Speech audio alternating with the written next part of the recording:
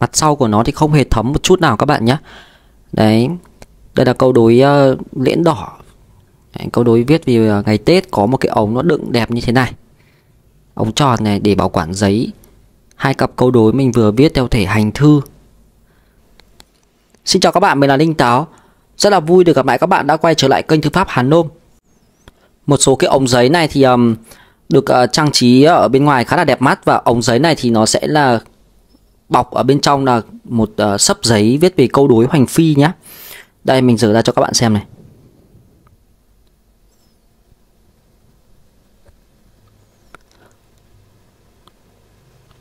Tổng của đó là 15 từ.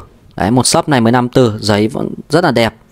Được bọc uh, bởi một cái uh, dây uh, gai. Đây các bạn có thể thấy được sử cái vân giấy ra cho các bạn xem này. Đấy. Hoa vân họa tiết của cái chất giấy này rất đẹp các bạn nhé. Phải nói là từ trước đến giờ mình chưa gặp một loại giấy nào mà mình viết Mình viết chữ mà mình cảm thấy ưng như giấy này. Và sắp tới thì mình sẽ làm rất nhiều những clip sử dụng cái loại giấy này để các bạn à, có thể thấy được. Đấy để các bạn thấy được có thể là uh, tham khảo thêm nhé. Tham khảo thêm về à, khâu uh, giấy bút các bạn chọn lựa. Thì khi mà chúng ta viết những bức tác phẩm thư pháp này thì nó rất là đẹp về uh, mặt ở thẩm mỹ có thể là để trang trí này tranh chữ tranh phong thủy này bằng chữ hán này Đấy, hoành phi câu đối treo ở cửa nhà đón xuân năm mới Màu đỏ là màu tượng trưng cho may mắn cát tường Thế thì uh, chúng ta sẽ cuộn lại như thế này để bảo quản được uh, cái giấy nó không bị nhăn và nó không bị nhàu các bạn nhé. Cái ống này thì uh, mình có thể đựng bút hoặc có thể là đựng giấy đều được. Ừ, mình thấy khá là ổn đấy ạ. Đấy, chúng ta có thể đựng cái bút tiểu, một cái ống này đựng bút tiểu hoặc có thể đựng bút to đều được. Ừ, nó khoảng ờ, 30 phân nhé. Đấy, khoảng tầm đấy. Bây giờ thì mình sẽ lấy mực từ trong cái nghiên đồng này ra Tại vì um, cái nghiên đồng này thì mình đã đổ mực uh, nguyên chất vào đây rồi Dạng mực uh, mài chiết xuất uh, từ thỏi Đấy, mực duy này mình đã đổ vào đây rồi Mình sẽ bảo quản ở trong cái nghiên đồng này. Vì mỗi một lần mình sử dụng cái ờ, lọ mực này Mình đổ đổ ra mình thấy nó hay đổ hay bị quá tay và thứ hai là muốn đổ lại ấy nếu mà dùng không hết ấy thì mình lại không đổ đổ lại được vào vào vào cái cái cái bình ấy được. Phải tháo nắp ra rất là mất vệ sinh và bẩn. Thì cái nghiên đồng này thì nó sẽ giúp mình có được cái miệng to hơn mình lấy mực cũng dễ hơn. Thậm chí là mình có thể dùng bút đại cũng có thể dùng cái nghiên mực này được. Sau đó mình sẽ cho vào trong cái nghiên sứ này để dùng tiết kiệm. Đấy, mỗi một lần mình viết một cặp uh, câu đối hoành phi mình chỉ lấy mút một xíu này thôi. Các bạn có thể không tin nhưng các bạn sau này có giấy này các bạn viết thử các bạn sẽ thấy được là dùng rất tiết kiệm. Vì giấy này nó bám mực. Đấy và mực này là mực nguyên chất chúng ta không cần pha đâu nhá.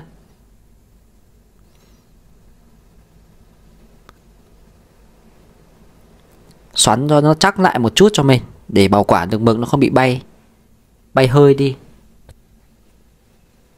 Mực này nó có tính là nếu như các bạn để hở ra là nó sẽ bay hết mùi, bay hết hơi đi các bạn nhé.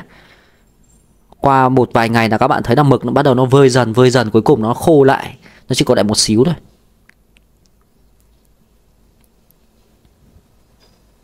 Đấy. Bây giờ chúng ta sẽ viết vào trong uh, giấy đỏ này trước, mình sẽ viết bức hoành phi trước.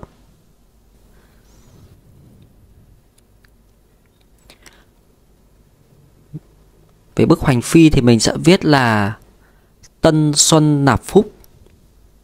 Viết theo ờ, nối hành thư các bạn nhé. Đấy. Hành thư thì nó sẽ bay bổng, bay lượn, phóng khoáng. Đấy. Nó sẽ theo cái tâm trạng. Đấy, Tâm trạng à, đang rất là hân hoan, vui mừng Thì nét chữ nó cũng sẽ nhảy múa. Đấy, uốn lượn. Đấy. Những cái đoạn nhấn nhả, những cái đoạn móc nhẹ như thế này là tạo những cái điểm nhấn riêng cho uh, những nhà thư pháp hay là những người viết chữ. Họ muốn thổi cái hồn nét chữ của họ vào uh, trong những con chữ này. Với bức hoành phi uh, tân xuân nạp phúc này thì có ý nghĩa là mùa xuân mới gia đình luôn đong đầy hạnh phúc. Tài lộc sẽ đến cửa nhà.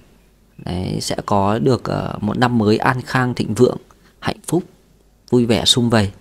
Đấy, gọi gọi là tân xuân nạp phúc. Nạp ở đây có nghĩa là thêm vào cho vào đón nhận. Tân xuân thì các bạn biết rồi đó chính là à, chào xuân năm mới đúng không? Đấy còn năm mới thì à, à, tất cả các gia đình đều mong muốn là có được cái sự bình an may mắn hạnh phúc. Đoàn viên sum vầy.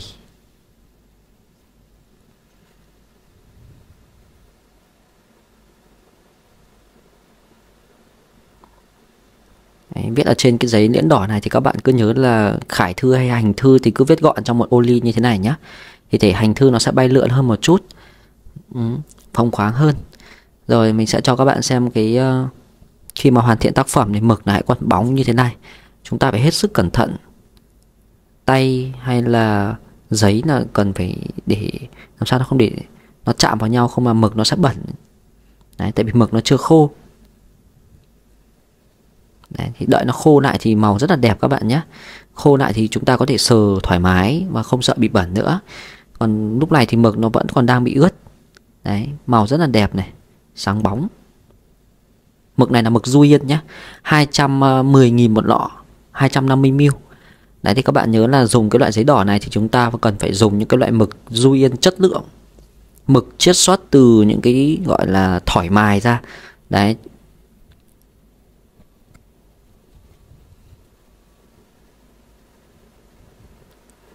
Về cặp câu đối thì mình à, sẽ thực hiện à, viết à, một câu đối 7 chữ. Các bạn nhé, câu đối 7 chữ. Thế thì có nội dung là Môn nghênh xuân hạ thu đông phúc bốn mùa. Đấy. Còn về phần hạ liên Thì mình sẽ nói là Hộ nạp đông nam tây bắc tài. Đấy, rất là đối và rất là hay. Ở đây có nghĩa là đối là bốn mùa này đối với lại là bốn hướng này. Về phần ý nghĩa thì mình sẽ dịch là cửa nhà đón phúc khắp bốn mùa xuân, hạ, thu, đông. Đấy. Nhà thu của cải nhá. Nhà thu, tức là thu thu nạp ấy, thu nạp của cải khắp bốn phương, đông, tây, nam, bắc. Đấy, nó đối với nhau. Thì là môn nghênh đối với hộ nạp. Môn là cửa.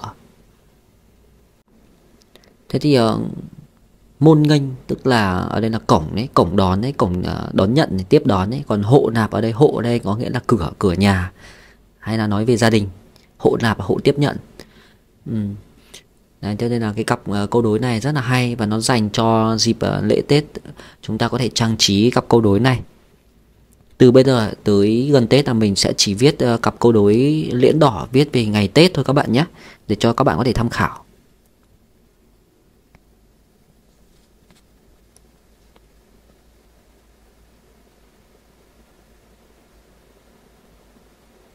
Đấy, chữ phúc viết rất là bay lượn.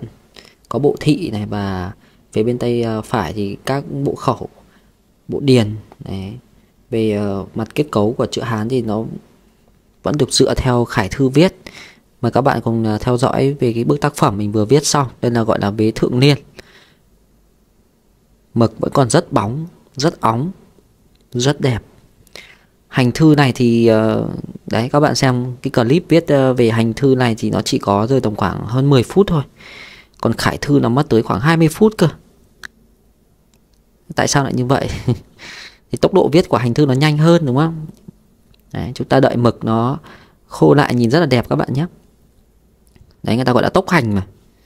Hành thư là viết nhanh, liền mạch, không nghỉ. Còn khải thư thì nó chân phương mẫu mực, chuẩn chuẩn mực từng nét chữ một. Đấy, phải chuẩn chỉ từng nét Còn hành thư thì nó bay lượn, phóng khoáng. Đấy, Kéo lại cho các bạn xem một lần nữa. Tuyệt vời.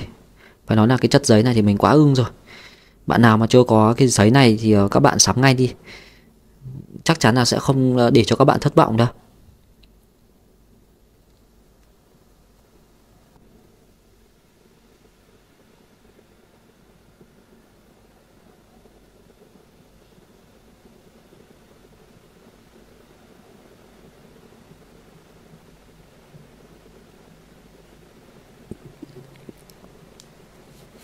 Cái phần này là cái phần ờ, viết về hành thư.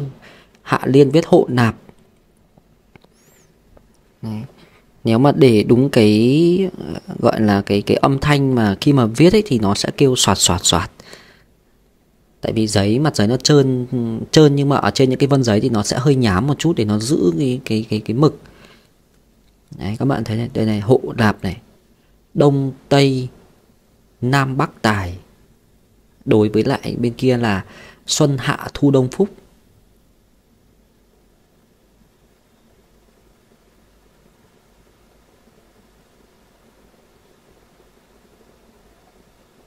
Đấy, về hành thư thì nó viết nó sẽ bay lượn hơn. À, một số những cái nét chữ thì nó sẽ có những cái quy tắc.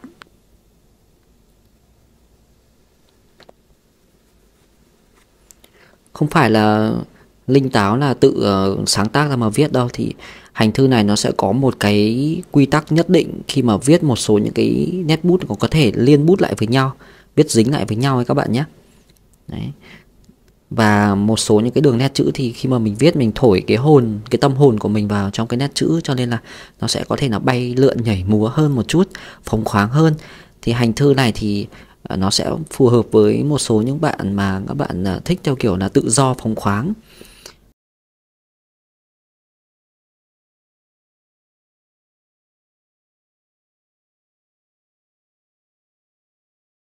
Mỗi một thể loại uh, chữ hán này thì nó sẽ có cái hồn đấy, nó sẽ có cái hồn riêng, cho nên chúng ta không cần phải đặt quá là so sánh cái nào đẹp, cái nào xấu. Ừ, mà chúng ta chỉ cần là thưởng thức theo nghệ thuật thôi. Mỗi một thể chữ đều có cái nghệ thuật riêng, đều có nét đẹp riêng các bạn nhé. Đấy, thì ở bên này là vế hạ liên này, hộ lạp đông tây, nam bắc tài. Đấy, mực hãy còn ờ, phải nói là nó chưa khô đâu, nên mình phải hết sức cẩn thận, không mà nó sẽ bị nhòe các bạn nhé. Đấy.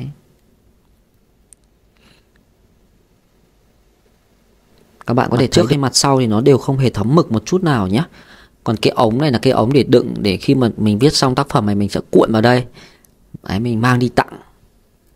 Mình mang đi ờ, bảo quản hay mình mang đi ờ, vận chuyển thì nó sẽ nó sẽ làm cho giấy của các bạn là nó vẫn bảo đảm một chất lượng nó không bị nhăn nhàu. Đấy hai cái cặp giấy mình viết bằng hành thư này. Đấy. người đọc được hải thư vẫn đọc được hành thư nhé nhưng hành thư phải viết chuẩn hành thư phải viết chuẩn mực. Các nét chữ là không được là liên bút quá tức là không được uh, phóng khoáng hay được sáng tạo nhiều quá. Đấy vẫn phải ở trong cái khuôn khổ cho phép được các bạn nhé. Ừ. xin chào các bạn và hẹn gặp lại trong những cái clip tiếp theo.